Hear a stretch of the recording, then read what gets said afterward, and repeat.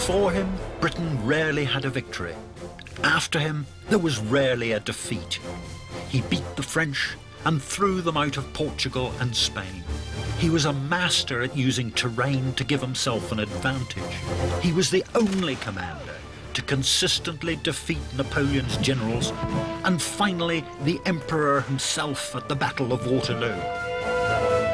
I'm Major Gordon Corrigan. I've always been fascinated by military leadership. In this programme, I'm looking at Arthur Wellesley, the first Duke of Wellington. How was it that a man condemned as a dunce at school and whose own mother thought he was stupid could learn how to become Britain's greatest general?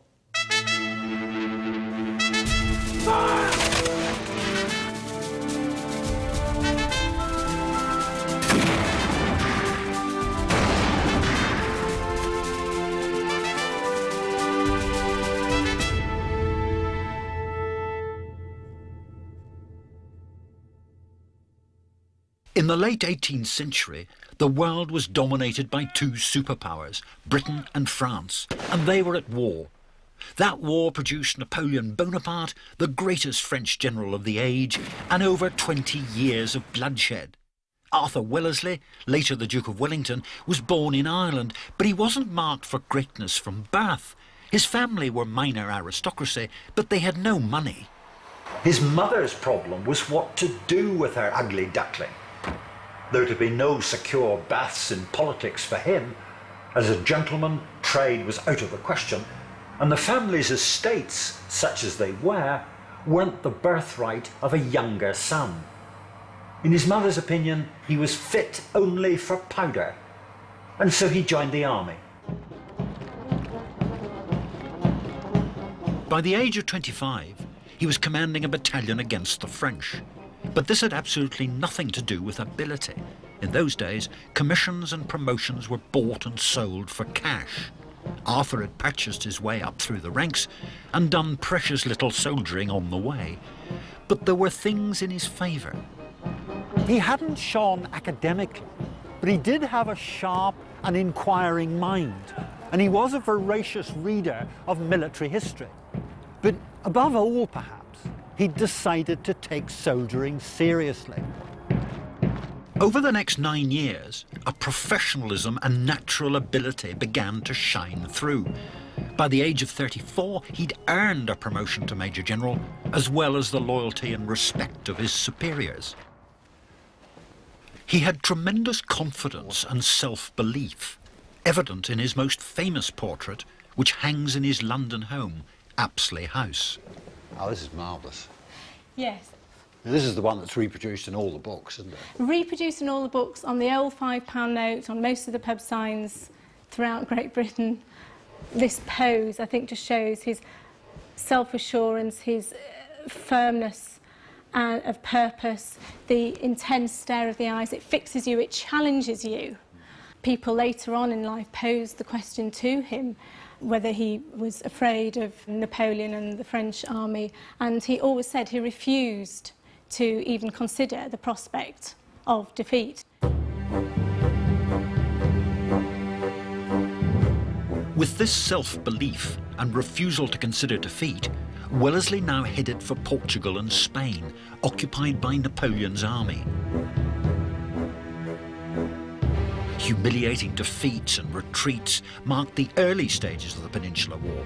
Then Wellesley, soon to be Viscount Wellington, took command, and the British would never lose another major battle. Part of the reason for this was his fearless character. Napoleon's armies had beaten just about everybody in Europe. But as Wellington said, most of them were beaten before they started. I, at least, am not afraid. In Portugal, Wellington showed more key qualities of a great leader, an understanding of logistics and the importance of discipline. He went to defend Portugal, and he established a base in Lisbon so his army could be supplied by the Royal Navy. He knew that if his men were forced to plunder the land for supplies, they would become an unruly mob and discipline would break down. Wellington was forced to work with very little, but that compelled him to become an even better commander. Wellington was a canny operator. He had to be.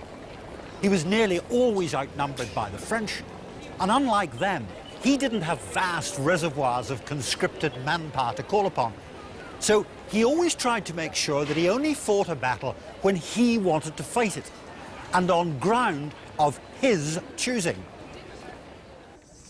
And ground is the key word.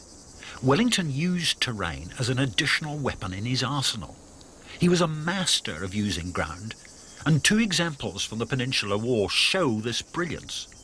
They also show evidence of another of Wellington's great qualities, his ability to plan and think ahead.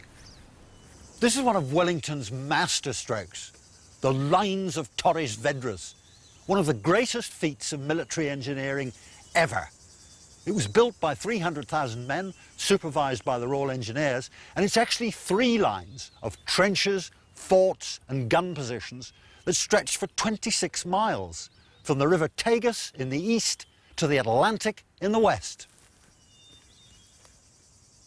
Trenches and gun positions were concealed amongst the hills. Behind the lines, Wellington's soldiers waited for the French. They were snug and safe and well supplied by the navy, unlike the French who lived off the land. Wellington had the local people moved behind the lines with all their animals and food. He then ordered all remaining crops to be destroyed. When the French approached, the land was bare. If they stayed where they were, they'd starve. So eventually, they had no choice but to withdraw back to Spain, pursued by Wellington's army, exactly as he had planned it. Here's what a French general wrote at the time. For a year and a half, the English had been working at these gigantic works. Most surprising of all, incredible in fact, the French government itself did not know that the hills had been fortified. For me, the most amazing thing about this whole caper is that the lines were built in absolute secrecy. A brilliant piece of deception by Wellington. And not just deception, but brilliant strategy too. Wellington had secured Portugal from attack, and now he could go on the offensive, following the retreating French into Spain, where again he would use ground to give himself an advantage. The ancient Spanish city of Salamanca. The Romans were here, Hannibal was here, and Napoleon's army was here.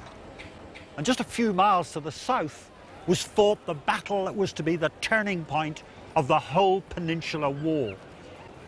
It's sometimes said that Wellington could only fight defensive battles. And it was certainly true that if you only had one very small army, you had to be careful what you did with it. But at Salamanca, Wellington showed that he could seize the fleeting opportunity and go on the attack. For days, the two opposing armies had been shadowing each other, waiting for one to make a mistake. Eventually, Wellington concealed his men amongst the hills and waited for the French. After a few days, Wellington was having his lunch.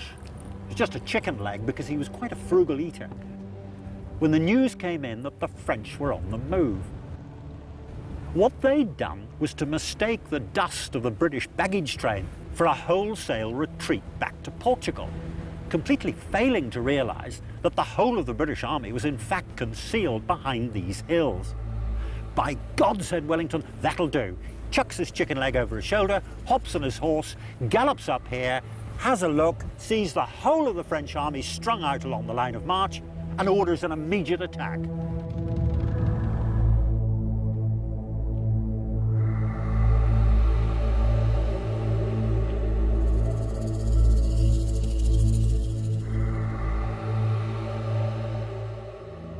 You know more about this battlefield than any man alive. How did you get interested in it in the first place? Well, my grandfather was a farmer, and whenever he plowed a field, we came here to the battlefield searching for musket balls. Yes. Now that's interesting because two musket balls, one smaller than the other, and the smaller one is the French one. We could fire their ammunition, but, but not vice versa. Definitely. Flames. Ah, yes. That's a very good name. Yeah. At 2 p.m., the battle began. Allied cavalry and infantry hammered into the flanks of the French. In minutes, the leading French division was blown away, and in a couple of hours, the whole French army was scattered. It was a great victory for Wellington, and after it, although there were still occasional British setbacks, the French were always on the back foot in Spain, and they never recovered. Wellington had pulled off a complex battle of manoeuvre. It was catastrophic for the French. They lost 15,000 men, the British 5,000. Intelligence and initiative won the day, and the glory was all Wellington's. The master tactician had again beaten the once invincible French. Even after all these years, just standing here today, you still get a feeling of what it must have been like on the day. Oh, you are completely right. It is more or less that in, it was 200 years ago. I'm completely sure that if Wellington was here, he would recognize every spot on the battlefield. And a lot of French blood into the soil here. Salamanca was the turning point in the Peninsular War. The French surrendered in 1814 and Napoleon was banished to the Mediterranean island of Elba. Wellington, now Duke, was lionized throughout Europe. He became British ambassador to Paris and then represented Britain at the Congress of Vienna when the victorious powers met to decide the future shape of Europe. It was while they were meeting that the news came through. The hound had slipped the leash. Napoleon, the sheep warrior of Europe, had left Elba and was on the loose. There was only one man who could stop him. And the Tsar of Russia turned to Wellington and said, It is for you to save the world again. Astonishingly, Wellington and Napoleon had never met. But that was about to change. The name Wellington for most people means one thing his crushing defeat of Napoleon at Waterloo. But does that make him our greatest commander? In my opinion, Waterloo wasn't Wellington's greatest victory, but he had studied the strengths and weaknesses of his greatest adversary, Napoleon, and that is a mark of military greatness. His fascination with Napoleon is clear at his London home.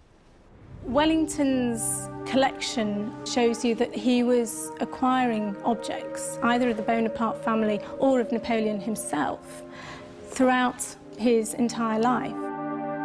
This is a very small format portrait of Wellington, and as you can see, he's contemplating this bust of Napoleon.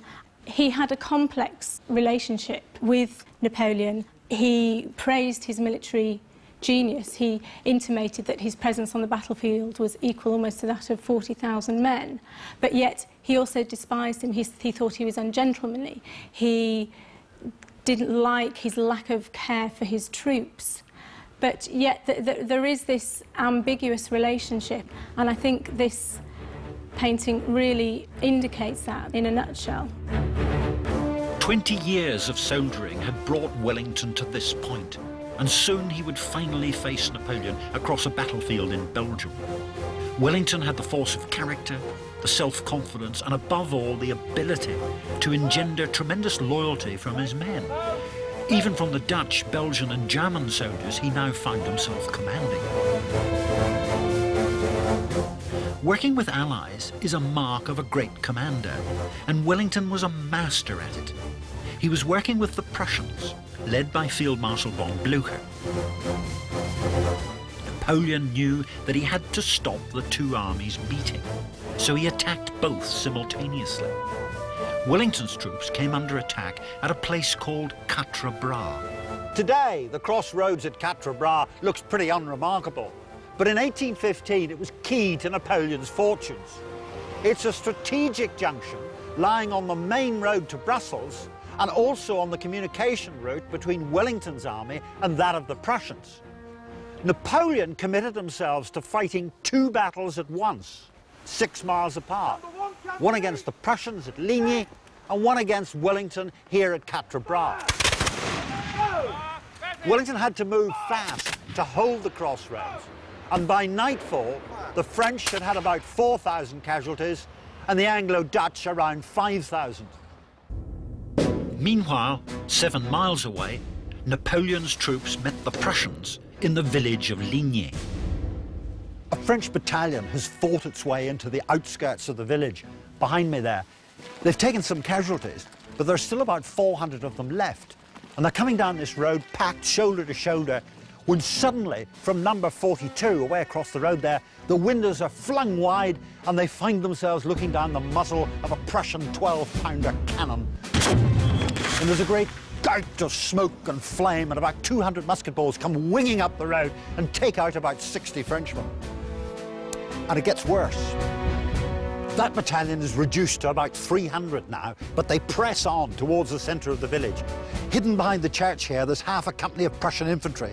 On the word of command, they swing out across the road, level their muskets and fire two volleys.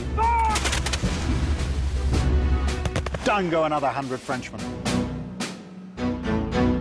But at the end of the day, numbers and experience told, and only nightfall saved the Prussians from complete destruction.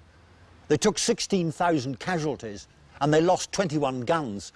But although they were roundly defeated, they weren't routed. And instead of retreating towards Germany and home, as Napoleon had hoped, they withdrew north so they could still cooperate with Wellington if needed. It's this loyalty that Wellington was able to inspire in his allies, even in the face of defeat, that I believe marks him out as a brilliant leader. I see you've got old Blucher up there. Yes, and Blucher was, of course, in charge of the Prussian army. We were lucky, weren't we, that, that Blucher and Wellington had this great relationship. I think that's what was so critical to Wellington. He was a man of honesty. He did inspire loyalty, not just in his troops, but in men like Blucher. Mm. Um, so Blucher had said to Wellington, I will be there, and be there he was. Mm. Wellington now faced one of the greatest challenges of his career, and one that would make him a household name throughout Europe. In a repeat of the tactics he used in Spain, he would cleverly conceal his troops near the village of Waterloo. On the 18th of June 1815, it all came to an end here on the battlefield of Waterloo, a small, tightly packed killing field with 160,000 soldiers in an area less than two miles square. Wellington distributed his troops along this ridge.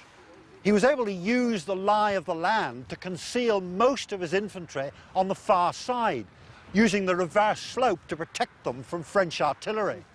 What he had to do was stick on this ridge, allow Napoleon to attack them head on, and then hold them off until the Prussians could arrive. Again, Wellington would borrow heavily from his experience in the Peninsular War. Wellington, the master tactician, studied the terrain and recognised the importance of holding the three farms that crossed the battlefield. They were easy to defend with only a small number of men, but Napoleon believed he could now lure Wellington into weakening his centre by staging an attack on one of them. This is Hougoumont Farm. It was held by the light companies of the British Guards, about 800 men altogether. So when that first French attack erupts out of the south, it's blown away by musketry from the roofs, from the windows, from loopholes in the walls. The French try again, from the north this time.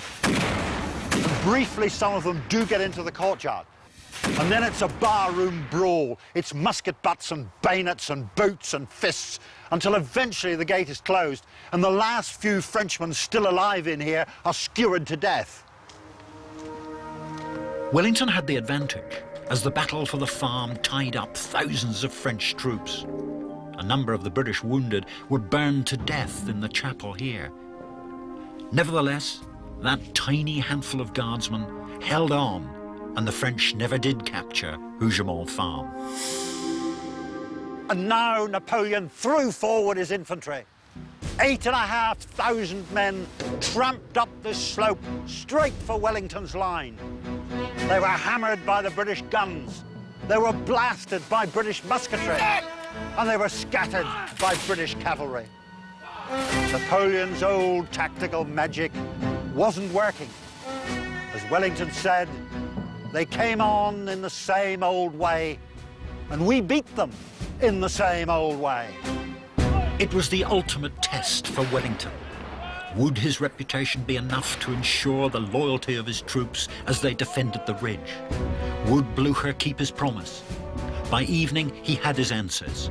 The Prussians were on the field, the French were now outnumbered, and the British Guards blew them into bloody shreds.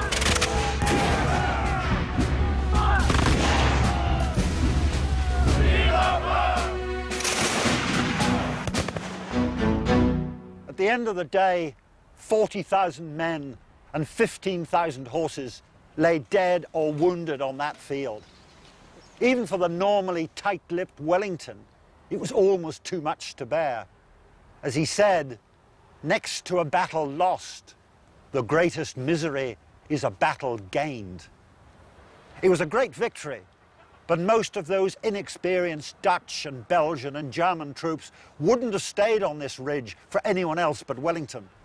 And the Prussians wouldn't have stayed in Flanders for anyone else but Wellington. Could Wellington have won the Battle of Waterloo without the Prussians? Wrong question. He'd never have fought the battle if he hadn't known that the Prussians were on the way. It may not have been Wellington's most difficult battle, but it couldn't have been won without him. From an unpromising start, Wellington had transformed himself into a great leader and a successful commander, the only man to beat all of Napoleon's generals before finally defeating the mighty emperor himself. Wellington never fought another battle, but then he didn't have to. Waterloo made Britain a world power, the only world power for a century.